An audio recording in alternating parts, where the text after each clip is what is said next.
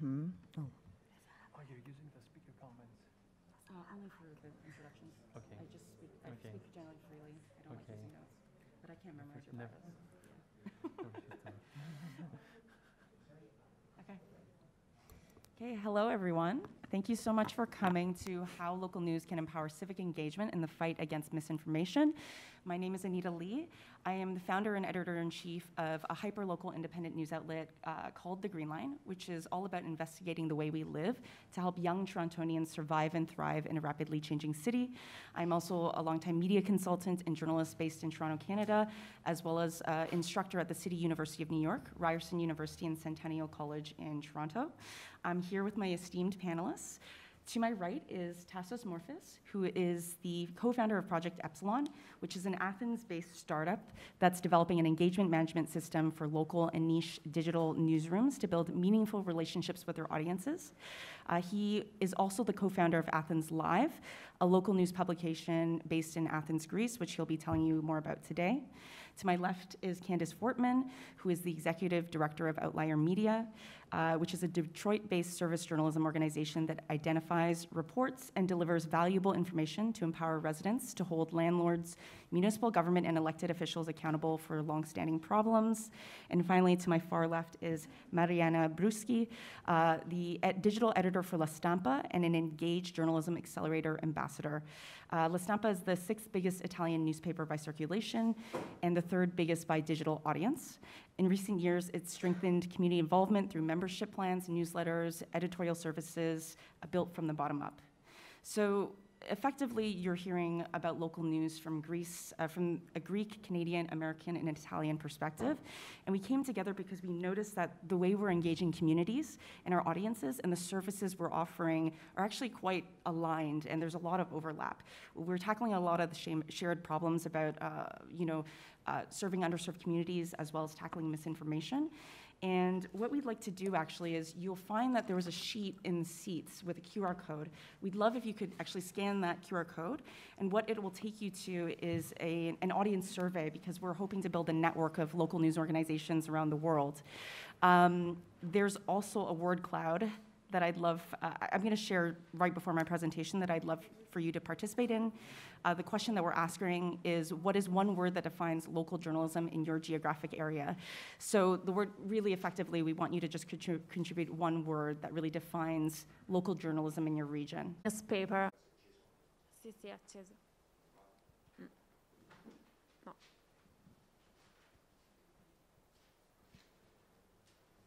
If it's not, okay, I can. Ehm, andava prima. I think I can change place and. yeah.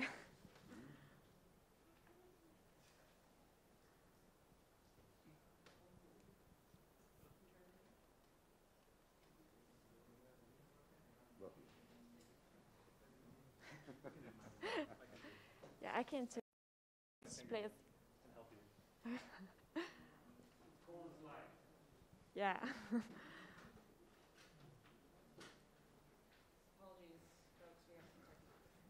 Lascia pure, lasciagli pure quello.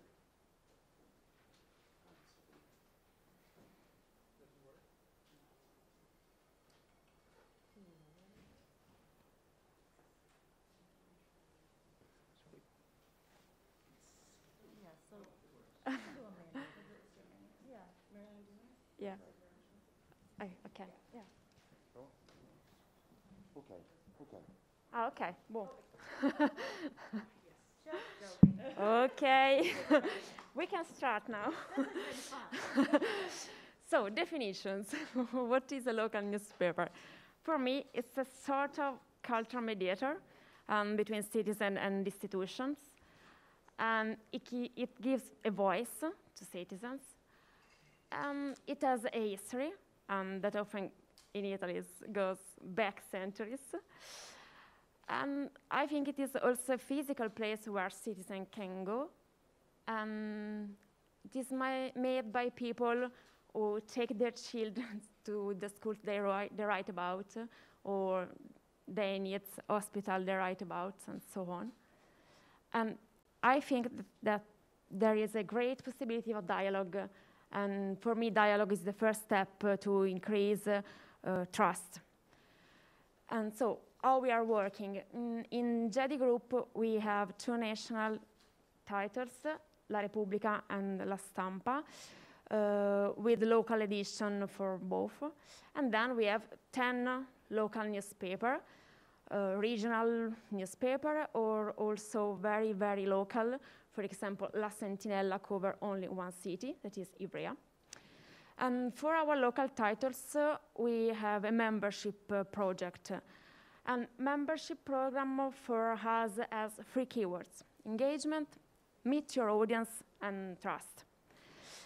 And uh, we know that those who are more active in their community are also um, likely to pay for local news, and we need them. And we have learned that we um, have to start to speak about relationship with our readers, and this is so different from, from a traditional marketing funnel. And we also know now that Meet Your Audience uh, is also in content, because not always uh, our journalism is uh, what readers, uh, readers want.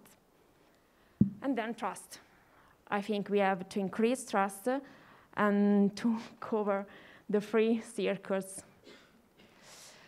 So when I speak about uh, Meet Your Audience, I think uh, also to live events. And there is a before COVID with a lot of community events. And now, during COVID, we have online events. And for us, meeting people is also our way to fight misinformation, disinformation, because we are trying to explain our job and how, for example, we find news and verify news and so on. But I think the more important meetings are with students. We bring them in our newsroom, even if now is uh, only with Zoom call. And we start with them uh, a, a, process towards a sane path of information. Um, engagement for our newsroom is uh, also try to involve people in our investigative reporting. This is an example about broadband gap we compared an official data set to uh, a data set made by readers with uh, the speed test. And then we have repeated it uh, in other titles, uh, also in La Stampa, so from local to, to national. And we use also a DNI project, come together, to give newsroom easy tool to increase this kind of project. And I think that this kind of project can help us to improve trust. Uh, this is an example from uh, Il Tirreno. We start with a question, how many days or weeks you need to book an exam in hospital, in public hospital in Tuscany? A lot. Um, also in this, in this project, we um, use a, an official data set, and then we have asked reader to, to share their experience and we collect a lot of stories. And then after um, a month, uh, the healthcare institution apologizes with, uh, with readers via the newspaper. So, to go straight to the end, four tips we have learned with, our um, membership program. The first is that we can consider the local newspaper as a glue uh, for our uh, reader community that often are already solid, but I think they need a, a glue, they need us. And then we have changed our matrix. When we have introduced a new, new matrix, and I think that is uh, that people come back to, to the center. And then a sad tip, in our newsroom, we need to do more with the same number of people or with less people. And the last, we must listen again because uh, we, we need to uh, give citizens a voice. So thank you. So next we have Candice Fortman.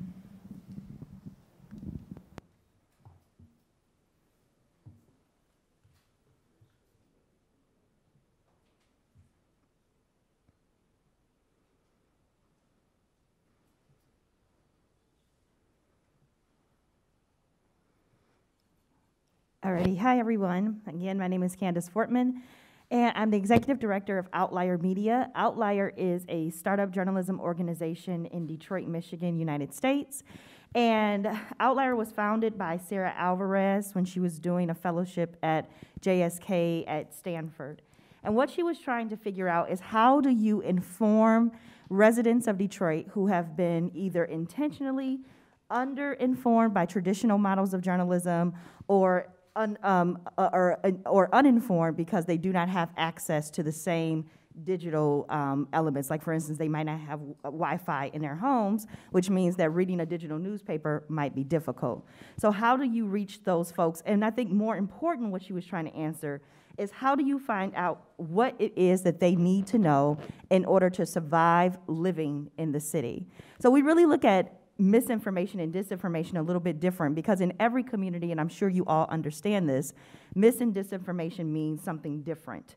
Um, it might mean one thing if you're in one area, but if you're in Detroit, it might mean that you're being scammed, for instance, through a, um, someone who's doing nefarious housing policy.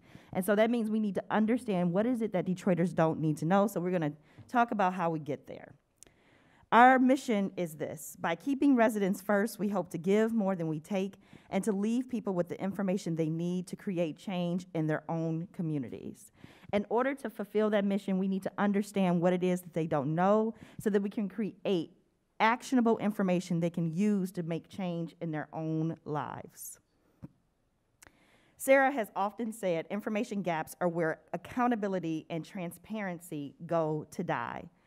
So when you have a community that does not have good information around, for instance, transportation, that means that there are a lot of actors that can be act really poorly in that area because the residents don't have the information they need in order to make good decisions for themselves. Like this clicker, for instance. I don't, yeah, that's a uh, information gap for me, evidently.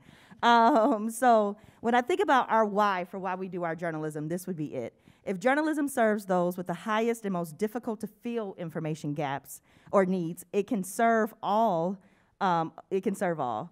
Also, I can't see that. if journalism is civic infrastructure and a high functioning, or journalism should be civic infrastructure and a high functioning community. And what I mean by that is that when there are good information systems in a community, that community thrives. There's a great report that came out that talked about when uh, it was not a great report, it was actually a very sad report.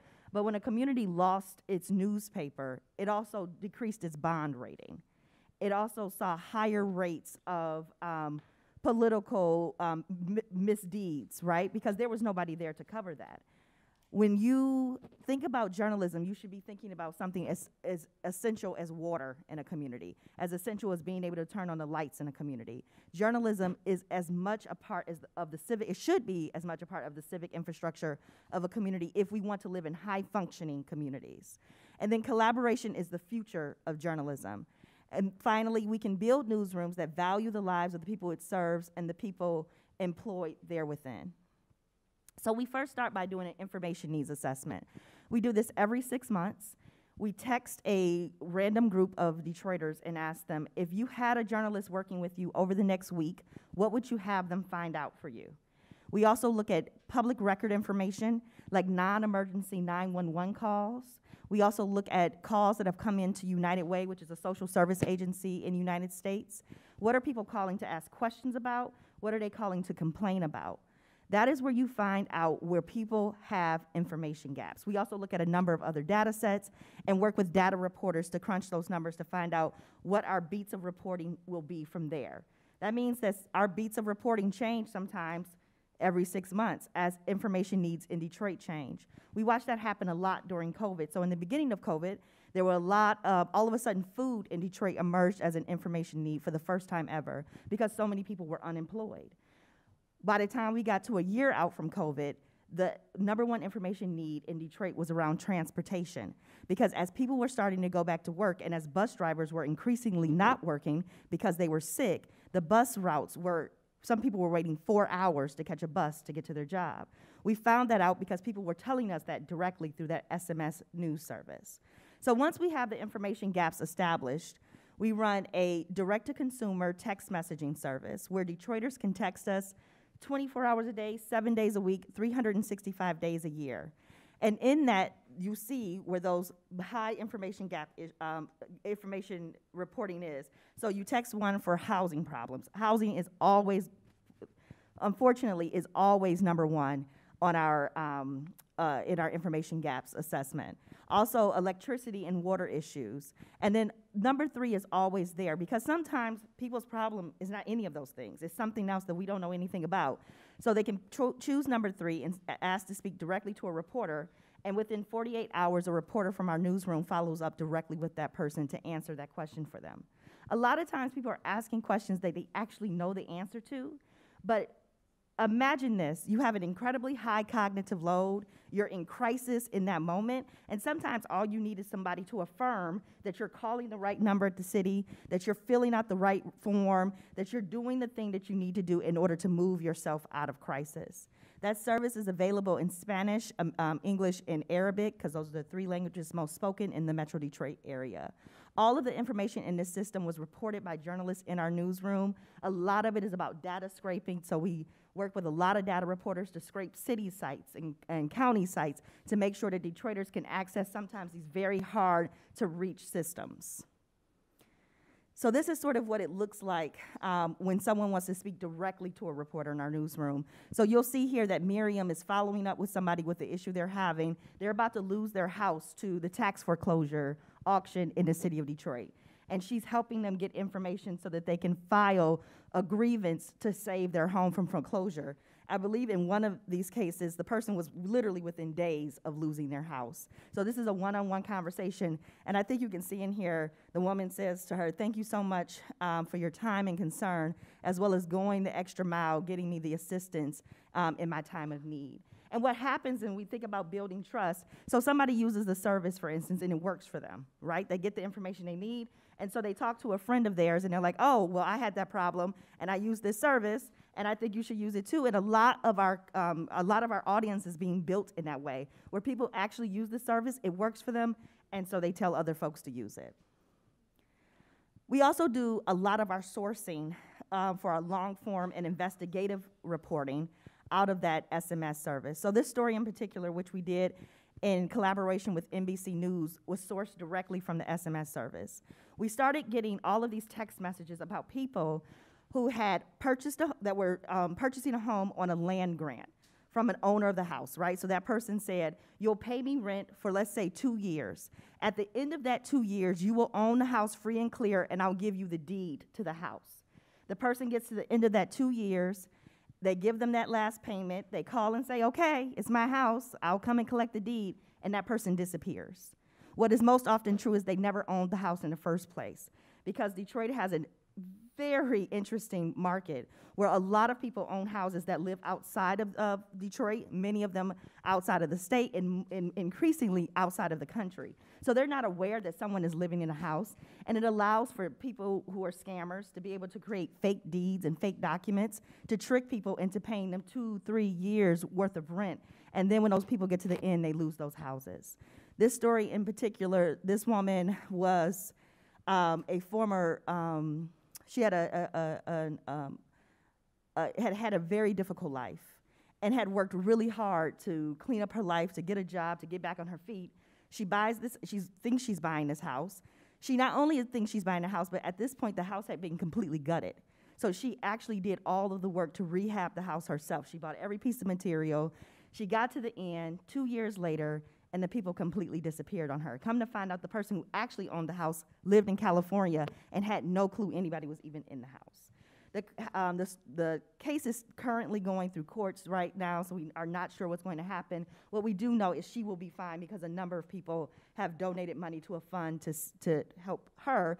But it's not just about the one individual. It's about a bad system. It's about a broken system. And so, what I'm most proud of is that our Attorney General actually opened up an investigation into this and is building a new system so that we have a better renter registry in the city that allows them to account for who owns the houses that people are moving into. And then the last thing we have is Detroit Documenters. I hope that some of you, many of you, um, have grown to know the organization City Bureau in Chicago in the States. City Bureau developed an, um, a, a, a program called Documenters where they train and pay residents to go to public meetings and to report, note, to take notes at those public meetings. City council meetings, board, of- uh, water board meetings, um, board of education meetings, all the meetings that you have in a local community. Those residents then take notes. The notes are edited by reporters and editors across the city and made accessible over a, a public uh, website for anybody to use, whether it be community groups or other journalists who are trying to do reporting. This is really important because, as you know, our newsrooms are getting smaller. There was not a single person working in Detroit, in a Detroit newsroom, whose beat was City Hall alone. That meant that they, the person who was covering City Hall was also covering three other beats. That's not a great thing. So now we have this army of residents who are helping us to cover this really big issue that has really critical outcomes for the folks that are sitting there. And I think what's most important about documenters is that, you know, the mayor might not care that a journalist is mad at him. A mayor gets really upset when his voters are mad at him. And documenters are the mayor's voters.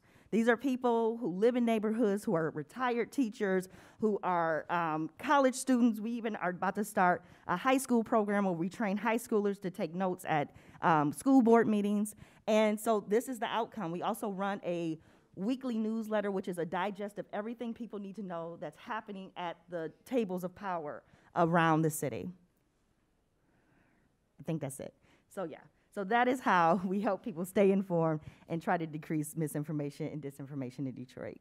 Sorry, there you go. Thanks so much, Candice. Uh, next up is Tassos Morfis.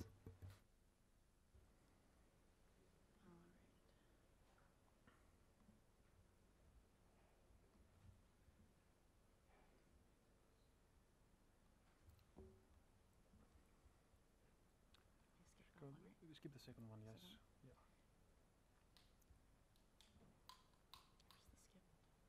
You should press on the slide and press skip. Right click. Skip slide. Yep. Fantastical. Yep. And you're good to go. I'll need this one. I'm pressing this one, right? Yes. So, hi everyone. My name is Tassos. I'm uh, an ex-journalist from Greece. I covered the Greek crisis extensively, and now I somehow turned into a media entrepreneur because of mostly need, um, uh, in order to to make things work, mostly for local news.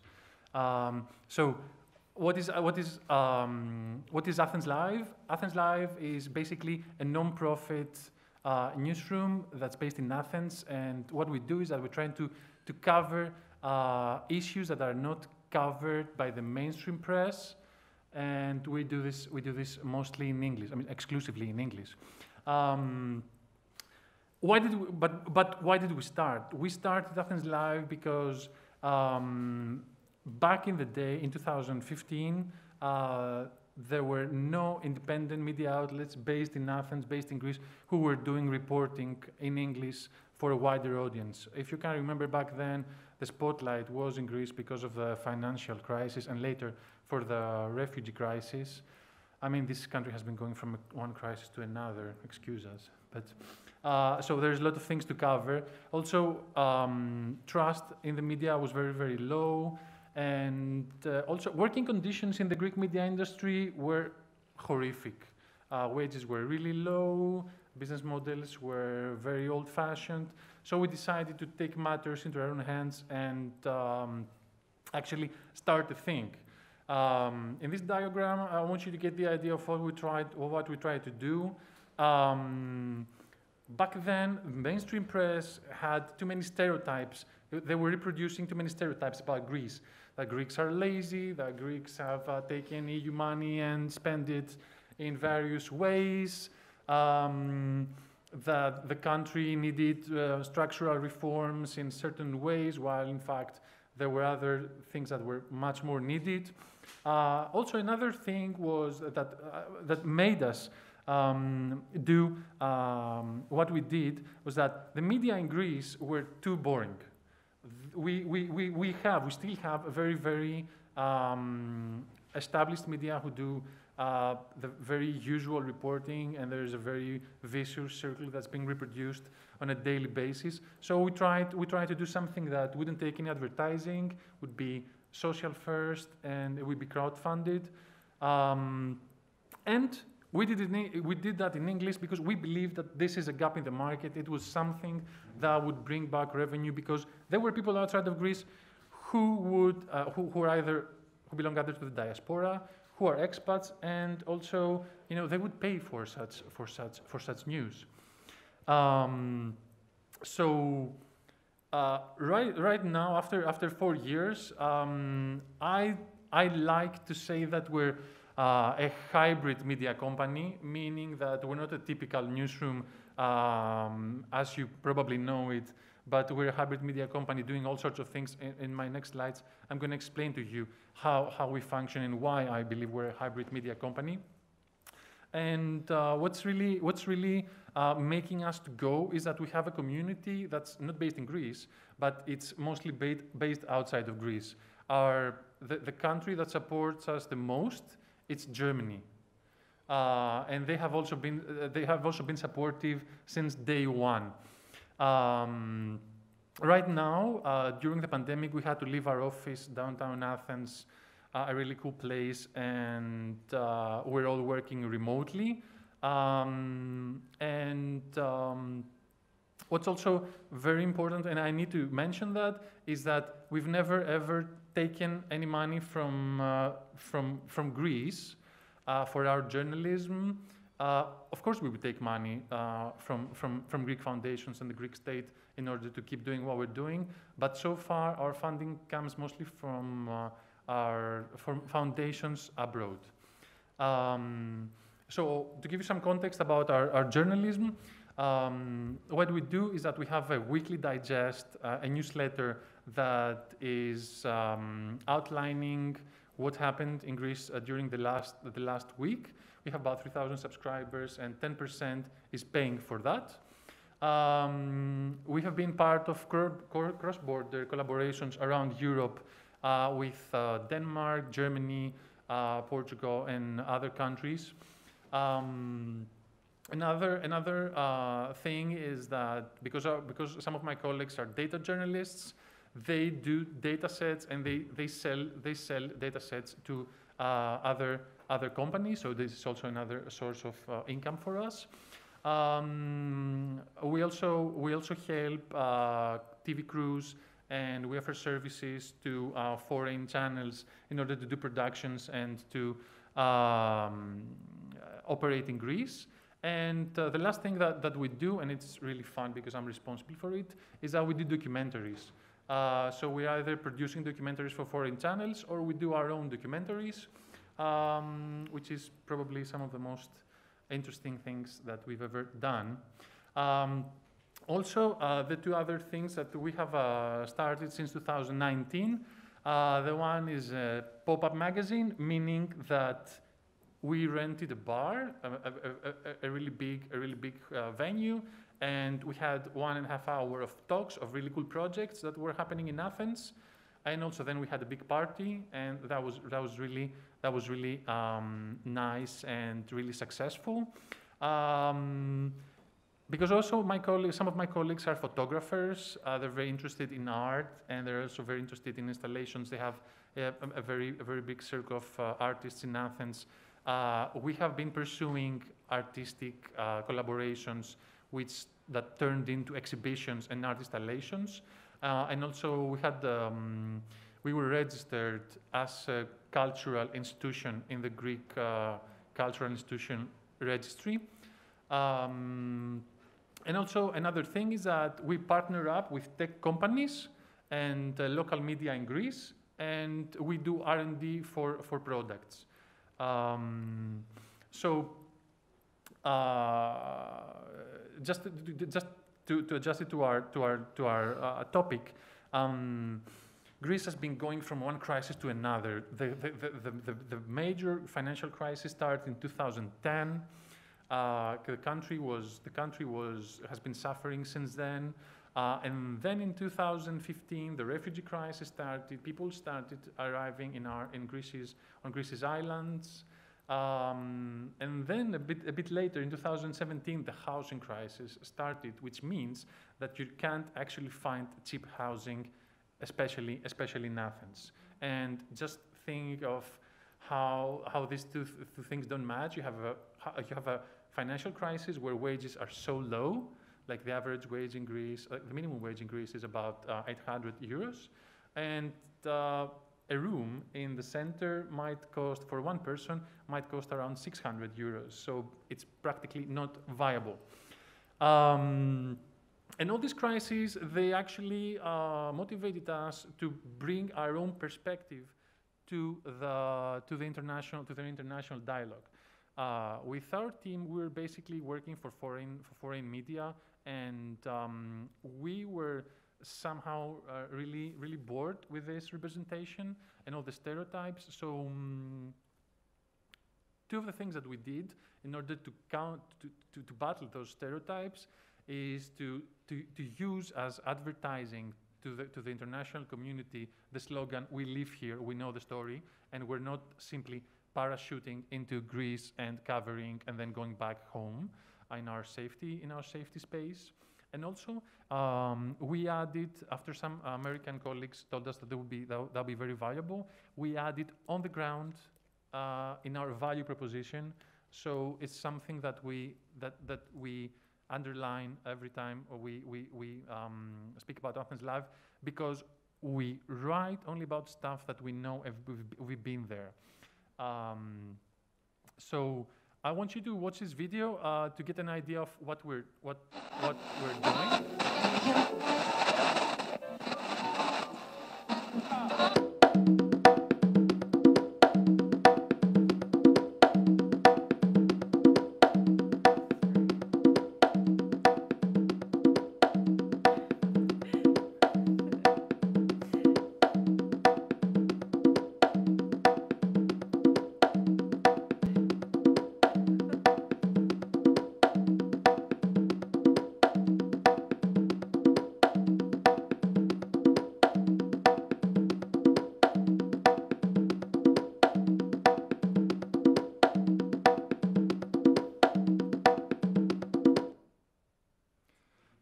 So there was an ad uh, back in 2016, uh, and um, it shows how we challenge the stereotypes. I don't know if the stereotypes are misinformation or disinformation. I think there's some uh, somewhere in, in between. Um, but you know, if you ask if you ask people abroad, you, they're going to tell about uh, the, the Greek summer, and uh, we believe that there are so many things that we can we can talk about. Um, uh, and another, yeah. Ανατριχιαστικό. So the, the, m- the next video is about is about um, some debunking that we used to do. Actually, it shows the state of the of the Greek media. I need, uh, there's a disclaimer that no one was Το fired νέο after the προπαγανδιστικό βίντεο της misinformation in the Greek Βόρειας media. Κορέας So you get the Chi- idea. Uh, all right. Ανατριχιαστικό το νέο προπαγανδιστικό βίντεο της Βόρειας Κορέας 친애하는 지도자 동지는 현명하시고 친절하고 힘세시다. 기쁜 평화 소망하며 우리 시대의 한 가지 더 소원은 미제 그래도 땅이 화염 속에 폭발하는 것. 자기의 피와 배설물에 빠져 Την ίδια ώρα, ο Κιμ Γιον Κούν συνεχίζει τι απειλέ κατά των ΗΠΑ, ενώ αίσθηση προκαλεί ένα νέο βίντεο με πρωταγωνιστή ένα παιδάκι.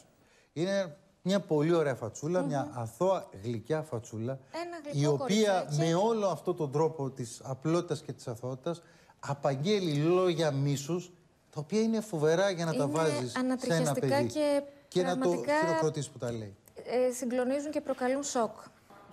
죽거라 양키 죽어라 죽어라 그게 날 기쁨 충만하게 줘 모든 여자를 여자 핏으로만 버리게 하고 그걸 너 아이들이 모두 강제로 지켜봐 지켜보기를 So you get you get the idea of what kind of an environment we're operating in, and like we need to talk about the obvious and state the very very obvious, uh, while in fact our our colleagues are using Hollywood's movies in order to uh, actually make money. Um, so. Uh, again, to, to, the crisis that we've been we've been we've been dealing with uh, with um, the refugee crisis for us, in order in order to uh, counter uh, misinformation, disinformation around the, the, the, refugee crisis, we decided to be on the ground. This meant that we had to send people on the ground. Here are some examples of, of our stories. Uh, our photographers and our reporters went on the ground to the islands and covered everything. So we had um, we had original reporting from where things were happening. Um, the other thing is that we covered labor extensively, and uh, we covered, uh, these are some of the latest uh, stories. Um, and we covered labor exactly because they're very, very labor. We believe that labor is deeply connected to the crisis um, that I referred to earlier. Uh, and the other crisis, the housing crisis, we thought that it would be a great, uh, a great chance and a great uh, opportunity to do some data journalism and actually while we're all feeling uh, in, our, in, our, in our daily lives the impact of the housing crisis, we try to crunch some numbers and see and actually prove that this is an, this is an, a, a, real problem and it's out there. It's not some crazy landlords who ask tremendous amount of money for some for some uh, really bad really bad place. So we use data journalism in order to cover the, the housing crisis. And um, because it's a pan-European problem, this led to um, cross-border collaborations, and especially this uh, one um, got uh, distinguished at the Sigma Awards, um, and it's an investigation that um, was uh, conducted uh, in a partnership with many European outlets. Uh, pretty much that's us. Thanks a lot.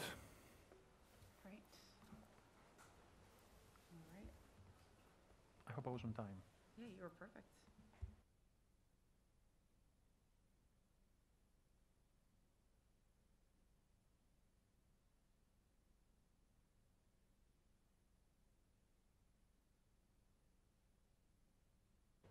Okay, great.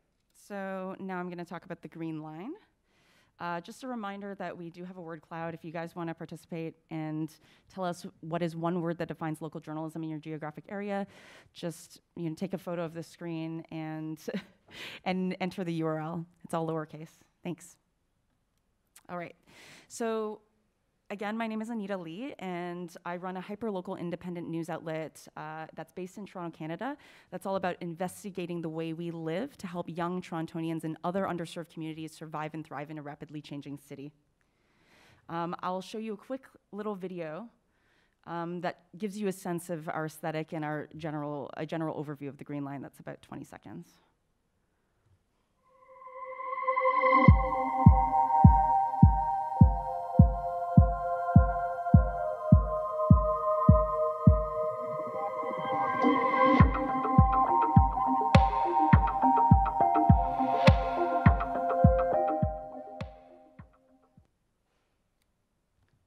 So you can see that our tagline is redefining Toronto the, through the way we live. And the reason why I, I created that tagline is because I feel that every action that we take as an individual shapes not only who we are as who we are as people, but our immediate surroundings, our immediate communities, our city, our province, our country. And it really connects to this idea of media as a pillar of democracy. For a long time, you know, we often hear that people are really turned away from news um, or that they passively consume the news and you just feel a sense of anxiety and dread. So I really wanted to connect this idea of action to journalism again because it truly is a public service. So the problem that we're trying to address is that pathways towards a good life or what we consider a successful life have been turned upside down, especially post pandemic for young people. There's a lot of statistics that show that Gen Zs and millennials, more than older generations, are experiencing tons of anxiety, depression. They're in, experiencing a climate crisis. They're experiencing a financial crisis. So a lot of them are having a hard time navigating life post-pandemic. And especially in urban centers, there's a lot of sense of alienation, isolation, just a lot of difficulties. And a lot of folks, especially young and underserved communities in Toronto, have been pushed out to the margins. So the idea is that the Green Line is the kind of outlet that I would have loved to have when I was in my 20s, that'll help you navigate a very rapidly changing city. So by investigating the way we live, we get to the root of the issue that impacts Torontonians the most. And our goal is to collaborate with journalists and creators from the communities that we serve to report on local solutions uh, rather than just exclusively the problems that target the sources of the biggest issues facing our city. And so we have three core verticals plus events. The foundational vertical is lifestyle, but we're not talking about goop, Gwyneth Paltrow style 10 candles to spruce up your bathroom. We're really talking about not aspirational lifestyle, but authentic lifestyle. We're talking about mental health issues. We're talking about housing affordability. We're talking about food accessibility. There's also a comedy component. Of course, that's not journalism, but it's part of the engagement funnel that I'm going to be talking to you about in just a moment. We really want to meet people where they are and not look down on the way people consume news. And we're all very, you know, very intersectional. We're very com- complex people. Everyone's, you know, has many different interests. So we want to be able to leverage the power of comedy and entertainment to bring people down this uh, funnel of learning and, and knowledge. And finally, there's the news section. So the news section is really a green line take on a major Toronto story of the day. It's either community driven, so straight from the mouths of the community members themselves, that where they're telling us, here are some gaps in coverage, we want you to fill them, or it's a take, a green line take on a major Toronto story, which effectively means anything that serves our audience of young and underserved communities. So these are our three core audiences. For those of you who don't know, raccoon's kind of the raccoon's the official mascot of the city of Toronto. Um, the first two audiences are our core audiences. Uh, it's action-oriented young urbanites, which are Gen Zs and millennials in Toronto.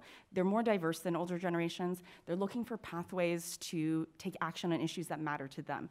I don't need to tell you guys that some of the biggest social movements of the last decade have been driven by young people, whether it's Me Too or uh, you know Fridays for Future, whether it's you know uh, gun control movements in the United States. The second audience is underrepresented Torontonians. So these are people who live, work, and play in highly populated Toronto communities, including my hometown of Scarborough, which is a suburb of almost 700,000 people. Um, it's very under resourced. I grew up in a working class area where there's a lot of racialized people and new immigrants. And it, you know, it's one of the communities that are very overlooked. Um, as well as you know more affluent communities like Willowdale, but they just don't because of news deserts. They just don't get reliable coverage. I also include newcomers. There's a lot of new immigrants to Toronto. It's one of the most, most diverse cities in the world. Refugees and dual citizens. So there's many people like myself who are born in Canada but have parents from other countries. So my parents are from Hong Kong, and we have to navigate these, these identities. And I consider myself very much part of those first two target communities. The last is culture vultures. Some of you may actually belong in this last target audience, which are young English speakers based in urban centers around the world who are interested in Toronto's arts and culture scene. I'm sure you guys have heard a lot about our country and our city in recent years. We've increased in soft power a lot, so a lot of people have taken a keen interest in Toronto news. I won't spend too much time on this, but uh, we soft launched in October 2021 on Instagram and TikTok. And we deliver news tailored to those platforms deliberately because that's where a lot of our audience lives. And we also launched our website, thegreenline.to, in April 2022. We've received universally positive feedback, not only from our industry, but also our target audiences who keep saying, like, we've been waiting for this for so long. Uh, we've been waiting for an outlet like this. And 85% of our audience is made up of Gen Zs and millennials. Uh, we also have a really high average engagement rate of around 14% on Instagram, which is much higher than the average 1%. Uh, we also have a ton of partnerships, which is, are really critical to our success. Whether it's media partners or grassroots partners are really significant. Grassroots partners like BCG Scarborough, Trustee Hub, Food Share, they all are very value aligned and they provide us with connections to communi- our communities on the ground. Um, and I also collaborate with uh, uh, university institutions as well. So this is the probably the most essential part of our model, which I'm quite proud of. There's the attention funnel and then the action journey, which I'll talk about in just a moment. So, this is a form of an engagement strategy where we meet people where they are. At the very top of the funnel, we have comedy, opinion pieces, and behind the scenes coverage, which is tailored to TikTok.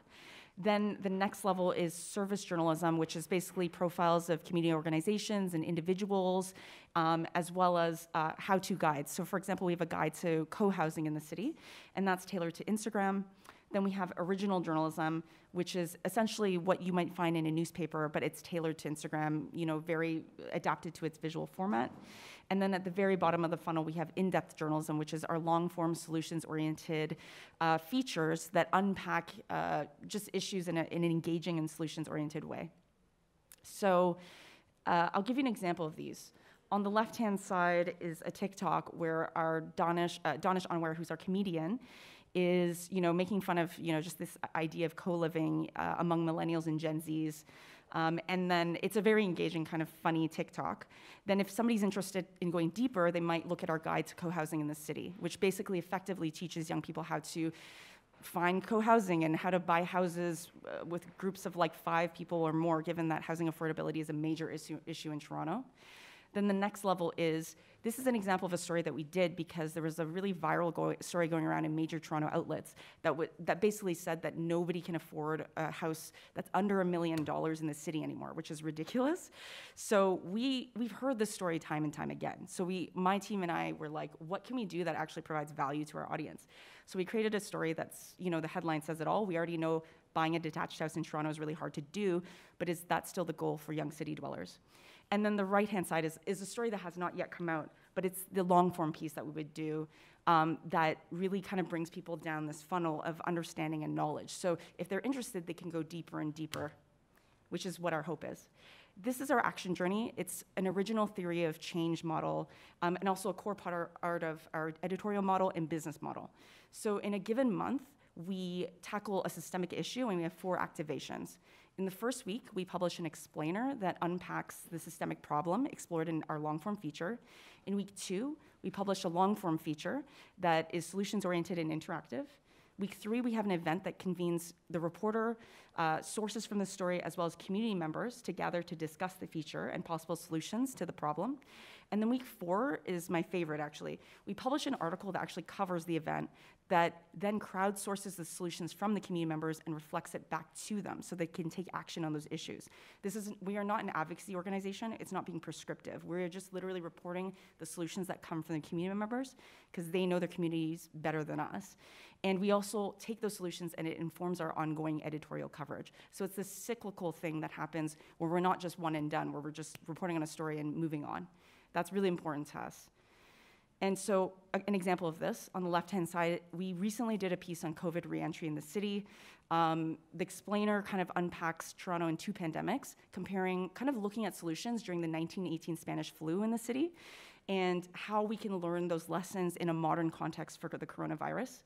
On the right hand side, we have a long form feature. All of this is on our website, by the way, that is called Living with COVID in Toronto When You Feel Alone, Even Though We're All in This Together. And that goes more in depth into the issue. Then on the, the left-hand side, you have the events. So we have our reporter, Stephen Zhao, on the left-hand side. We have a bunch of sources that were featured in the story, as well as leaders, um, nationally as well as municipally, who will talk about the issue. And this is, the event's called Learning to Breathe Again, How to Live with COVID and P Compassion in Toronto. So this is where we're gonna surface solutions. And on the right-hand side, you can see how the solutions are curated in a drop-down menu. Um, so that people can always go back and take action on issues that they care about. So uh, another problem that we're addressing is that the reason why we're solutions oriented, like I said, is that people feel a sense of dread and anxiety when they read the news. It's not uncommon for me to talk to people my age and have them say, I'm really like, I avoid the news altogether. And that is concerning because people need to consume the news to be active participants in our democracy. So the idea is that we want to address these issues, these stats, and basically help young people and underserved communities really engage in the democratic process through this action journey. And our hope is that we redefine the city's identity by centering the people and the places that are the driving force behind Toronto's sense of culture and identity, which are the people who have actually been pushed to the margins. And I also want to emphasize that local news is the first point of defense against misinformation. So a lot of misinformation can, the same kind of misinformation kind of impacts and infects many different countries around the world. But if we're on the ground doing the reporting, we can actually support national and international outlets in navigating these kinds of, um, this, this false information. Um, I'm just going to quickly go through elements of the website and what our hypothetical event would look like. But effectively, that's it. It's a modern Canadian outlet and call to action, and I'm hoping to re envision the way journalism is done um, so that people can become more involved. Uh, thank you so much. This is the website, uh, my the social handles, and if you want to reach out, you can reach out to me at hello at thegreenline.to. Um, and yeah, and I just want to emphasize again that uh, there's a QR code and all the sheets in your seats. You can also visit the link up here. And really, what we're asking for you to do, especially if you're in local news, is that we want to form an international network of local news organizations on the ground. There's a lot of tips that I hope you guys took away from this panel today. Um, and we just want to collaborate. I think it's we're stronger together. So uh, yes, thank you so much for listening. Uh, we're not allowed to take questions inside, but if you'd like, we're more than happy to answer questions uh, outside of the, the venue. Um, but thank you so much for listening and thank you for being present.